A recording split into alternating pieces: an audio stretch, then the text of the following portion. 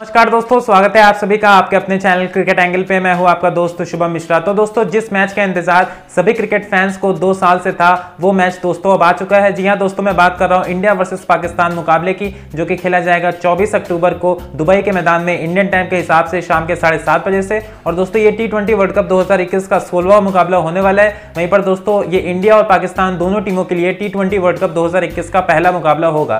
तो दोस्तों, बहुत ही ज़्यादा एक्साइटिंग और रोमांचक ये मुकाबला होने वाला है। सभी क्रिकेट फैंस बहुत ही ज़्यादा एक्साइटेड है इस मुकाबले को लेकर। तो दोस्तों, आज की इस वीडियो में हम करने वाले हैं इस मुकाबले का पूरा कंप्लीट मैच प्रीव्यू जहाँ पर दोस्तों मैं आपको बताऊँगा कि इस मुकाबले के लिए दुबई का वेदर कैसा रहने वाला है। वहीं पर दोस्तों, इस मुकाबले में दुबई की पिच कैसा बर्ताव कर सकती है और दोस्तों, इस मुकाबले के लिए दोनों टीमें किस प्लेइंग इलेवन के साथ मैदान में उतर सकती है। वहीं पर इस वीडियो के अंत में मैं अपने इस मुकाबले की विन प्रोडिक्शन भी देने वाला हूँ। तो दोस्तों, बहुत ही ज़्यादा इंटरेस्टिंग ये वीडियो होने वाली है। सभी इंडिया पाकिस्तान इसके अलावा टी वर्ल्ड कप फैंस के लिए इसलिए दोस्तों वीडियो को अंत तक ज़रूर देखिएगा।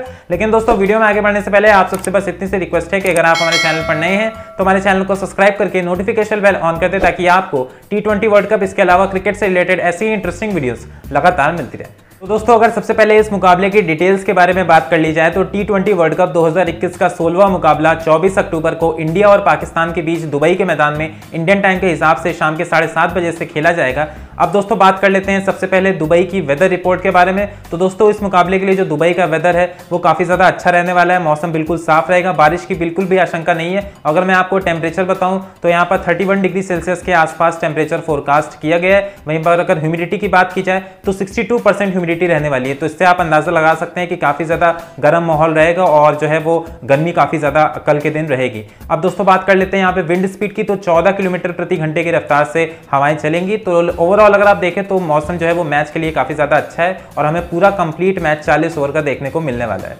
दोस्तों, बात कर ली जाए इस मुकाबले के लिए दुबई की पिच रिपोर्ट के बारे में। तो दोस्तों, नॉर्मली दुबई की पिच बैट्समैन के लिए काफ़ी ज़्यादा अच्छी साबित होती है। और अभी हाल ही में जो आईपीएल के मैचेस इस मैदान पे खेले गए थे, वहाँ पे भी हमने देखा था कि बड़े स्कोर्स भी इस पिच पर बने थे। और स्पेशली जो फाइनल मुकाबला इस मैदान पर खेला गया था सीएसके और के के बीच में, वहाँ पर हमने देखा था कि सीएसके की टीम ने एक से ऊपर रन बनाए थे पहले इनिंग्स में। तो दोस्तों, इस बार भी आपको जो दुबई की पिच है, वो बल्लेबाजी के लिए काफ़ी ज़्यादा अच्छी दिखने वाली है। यहाँ पर बल्लेबाज जो है, वो काफ़ी ज़्यादा बड़ा स्कोर आपको बनाते हुए नज़र आएँगे। और अगर हम गेंदबाजों की बात कर लें तो मिडिल ओवर्स में स्पेशली स्पिनर्स को यहाँ पर मदद मिलती है, थोड़ी बहुत और गेंद टर्न भी होती है और तेज गेंदबाजों के लिए भी यहाँ पर जो है पिच में later half of the innings में काफ़ी मदद होती है स्पेशली वो बॉलर्स जो बैक ऑफ़ द हैंड गेंद फेंकते हैं या स्लो डिलीवरीज का इस्तेमाल करते हैं। तो ओवरऑल दुबई की पिच दोस्तों काफ़ी ज़्यादा अच्छी रहने वाली है यहाँ पर बल्लेबाजों के लिए, लेकिन ज़्यादा फ़ायदा होगा। अगर हम स्टैट्स के हिसाब से बात कर ले दोस्तों तो दुबई के मैदान पर अभी तक इकसठ टी इंटरनेशनल मैचेस खेले गए हैं और पहले बैटिंग करने वाली टीम ने यहाँ पर चौंतीस मैचेस जीते हैं, जबकि चेजिंग टीम ने यहाँ पे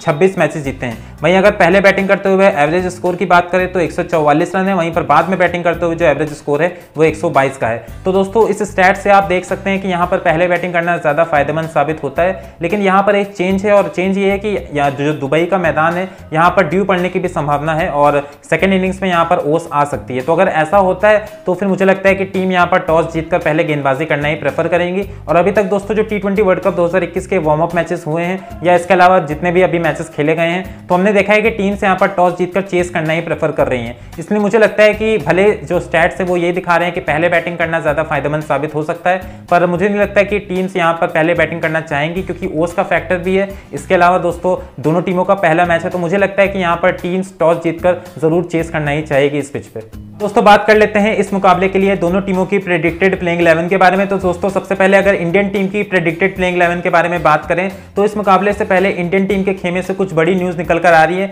और न्यूज़ ये है कि शायद वरुण चक्रवर्ती अभी पूरी तरीके से फिट नहीं है, उन्हें कुछ निकल है तो हो सकता है कि वो पाकिस्तान के अगेंस्ट मुकाबला ना खेले। हालाँकि हम तो यही होप करते हैं कि वो पूरी तरीके से फिट हो जाए और पाकिस्तान के अगेंस्ट मुकाबला ज़रूर खेलें, क्योंकि दोस्तों, वो काफ़ी ज़्यादा इंपॉर्टेंट एसेट है इस टी वर्ल्ड कप में इंडियन टीम के लिए। और अगर वो अनलीश होते हैं पाकिस्तान के अगेंस्ट तो फिर इंडियन टीम को बहुत ज़्यादा फ़ायदा पहुँचा सकता है। हालाँकि दोस्तों, अगर वरुण चक्रवर्ती ये मुकाबला नहीं खेलते हैं तो फिर उनकी जगह जो रेस में आगे हैं, वो हैं स्पिनर राहुल चहर। क्योंकि मुझे नहीं लगता कि टीम यहाँ पर रविचंद्रन अश्विन के साथ जाएगी। तो हो सकता है कि राहुल चहर आपको प्लेइंग इलेवन में नज़र आ जाए। इसके अलावा दोस्तों, जो दूसरी खबर इंडियन टीम के स्क्वाड से निकल कर आ रही है, वो ये है कि टीम यहाँ पर प्रेफर कर रही है हार्दिक पांड्या को एज अ बैट्समैन खिलाना भी। हालाँकि दोस्तों, हर तरफ़ एक्सपर्ट्स भी यही कह रहे हैं कि अगर वो गेंदबाजी नहीं कर रहे हैं तो फिर हार्दिक पांड्या को टीम में नहीं होना चाहिए, क्योंकि इससे टीम का बैलेंस बिगड़ता है। लेकिन दोस्तों, जिस हिसाब से इंटरनल रिपोर्ट्स निकल कर आ रही है, वो यही है कि हार्दिक पांड्या आपको एज अ बैट्समैन बीच प्लेइंग इलेवन में खेलते हुए नज़र आएँगे। तो दोस्तों, मेरे हिसाब से आपको इंडियन टीम की इस प्लेइंग इलेवन इस मुकाबले के लिए कुछ इस प्रकार की नज़र आ सकती है। ओपनिंग करते हुए नज़र आएँगे रोहित शर्मा हिटमैन के साथ केएल राहुल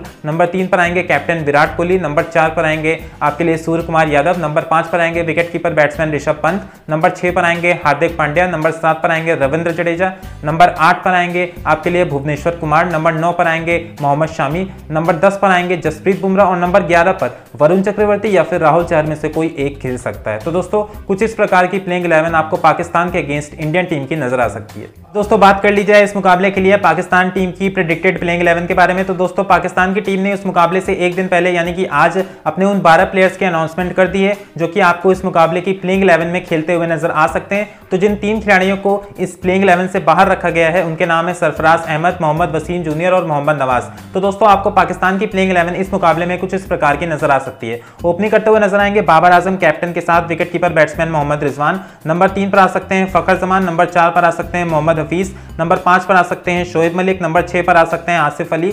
नंबर सात पर आ सकते हैं इमाद वसीम नंबर आठ पर आ सकते हैं शादाब खान। नंबर नौ पर आ सकते हैं हसन अली नंबर दस पर शहीन शाह अफरीदी और नंबर ग्यारह पर हारिस राउफ खेलते हुए दिखाई दे सकते हैं। तो दोस्तों, आपको कुछ इस प्रकार की प्लेइंग इलेवन पाकिस्तान की टीम की तरफ़ से इंडिया के अगेंस्ट इस मुकाबले में नज़र आ सकती है। दोस्तों, बात कर ली जाए इस मुकाबले के लिए मेरी अपनी विन प्रडिक्शन की कि मुझे क्या लगता है कौन सी टीम ये मुकाबला जीतने वाली है। तो दोस्तों, इसे जानने के लिए आपको सबसे पहले थोड़ा सा स्टैट्स को भी जानना होगा, क्योंकि दोस्तों ओवरऑल टी इंटरनेशनल हिस्ट्री में आठ बार इंडिया और पाकिस्तान का आमना सामना हुआ है, जहाँ पर दोस्तों सात बार इंडियन टीम ने मैच जीता है, जबकि सिर्फ़ एक बार पाकिस्तान की टीम मुकाबला जीत पाई है। तो दोस्तों, आप ओवरऑल हिस्ट्री में देख सकते हैं कि इंडियन टीम बहुत ज़्यादा डोमिनेट कर रही है पाकिस्तान के ऊपर। वहीं दोस्तों, अगर हम टी वर्ल्ड कप हिस्ट्री की बात कर ले तो यहाँ पे पाकिस्तान के लिए सिफर है, यानी कि ज़ीरो बटा सन्नाटा, क्योंकि पाँच बार मुकाबला हुआ है इंडिया और पाकिस्तान का T twenty World Cup history में और पाँच के पाँचों बार इंडिया ने ही बाजी मारी है। वहीं दोस्तों, अगर हम बात कर ले यहाँ पर रिसेंट फॉर्म की तो पिछले पाँच टी ट्वेंटी इंटरनेशनल मैचेस जो इन दोनों टीमों के बीच खेले गए हैं, उसमें से दोस्तों, इंडिया ने चार बार मुकाबला जीता है, जबकि पाकिस्तान सिर्फ़ एक बार मुकाबला जीत पाया है। तो यहाँ से भी आप देख सकते हैं कि स्टैट्स में पाकिस्तान की टीम कहीं नहीं ठहर रही है इंडिया के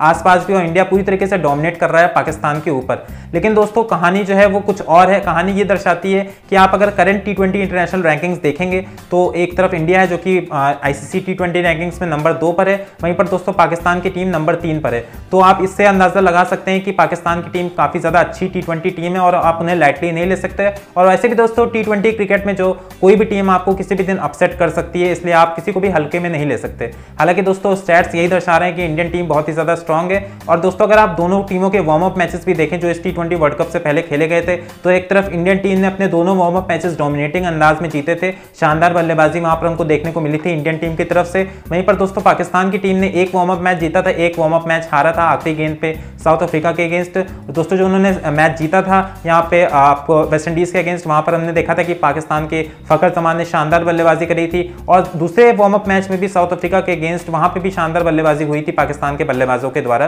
तो दोनों टीमों के बल्लेबाज इस समय शानदार फॉर्म में एक अच्छा कॉन्टेक्स्ट हमें इस मुकाबले में देखने को मिलेगा, रोमांचक मुकाबला देखने को मिलेगा। और दोस्तों, जो टीम यहाँ पर उस दिन प्रेशर ज़्यादा अच्छा हैंडल करेगी, वही टीम ये मुकाबला जीतने वाली है।